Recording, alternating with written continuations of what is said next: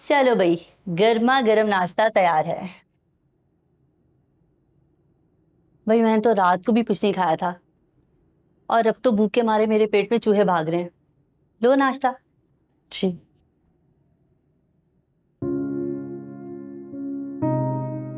हाँ याद आया। प्रेस कॉन्फ्रेंस रखी है तुम्हारे केस के सिलसिले में। अब उसका क्या फ़ायदा? प्रेशर। प्रेशर बढ़ेगा जज पर। वो जो फैसला सुनाने में बहाने बना रहा है ना, तुम्हारे स्क्रीन पर आते ही यूँ यूँ फैसला सुनाएगा।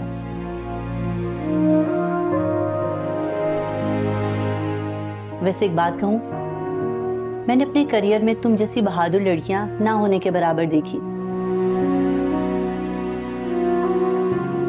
तुमने वाकई ही बहुत हिम्मत का मुजाहरा किया है।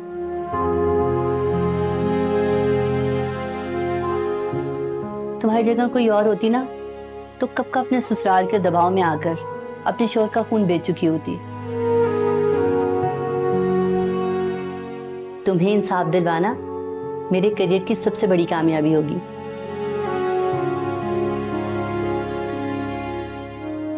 क्या ये बात सच है कि वासे अहमद और उनकी फैमिली ने आपको पैसों के बदले खून माफ़ करने के लिए प्रेशराइज किया था? जी हाँ। ये बात सच है। बल्कि मेरी सास और देवर तो उन्हें माफ़ भी कर चुके थे।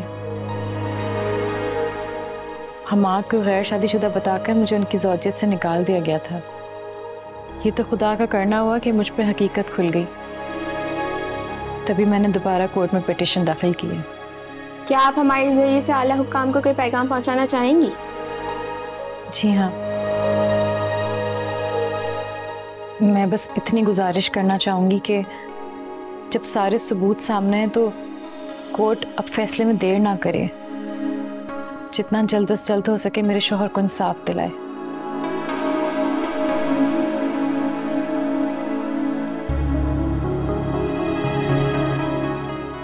मैं पुर उम्मीद हूँ हमाद के मुजरिम को अब सजा मिलने में ज़्यादा देर नहीं लगेगी। और हाँ आपके तवसत से मैं एक बात पहुंचाना चाहती हूँ। इस केस का फैसला हर उस जागीरदार और बिजनेसमैन के लिए सबक होगा, जो ये समझता है कि पैसे के ज़ोर पर कोई भी जुर्म आसानी से किया जा सकता है। थैंक यू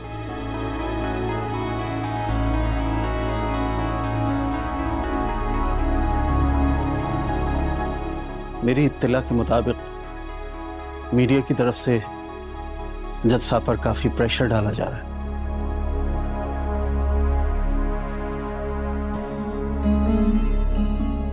बहुत मुमकिन है कि आज या कल के दिन फैसले की तारीख का ऐलान कर दिया जाए।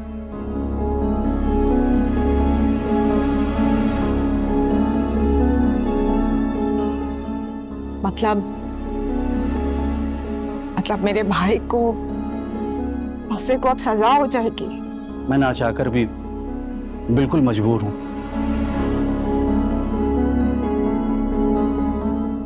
वासे की तरफ़ से किसी भी अच्छी खबर का मिलना तकरीबन नामुमकिन है। अंकल आप तो इतने एक्सपीरियंस लॉयर हैं। आप ही कोई हल निकालिए। बेटा मेरे हाथ में कुछ होता तो मैं हर मुमकिन तुम्हारे शौहर को बचाने की कोशिश करता। लेकिन क्या करूँ? मैं खुद बहुत बेबस हूँ। वासे को बचाने का जो एक तरीका था वो मकतूल की बीवी का माफीनामा था, जो कि आप दोनों जानते हैं कि अब मिलना नामुमकिन है।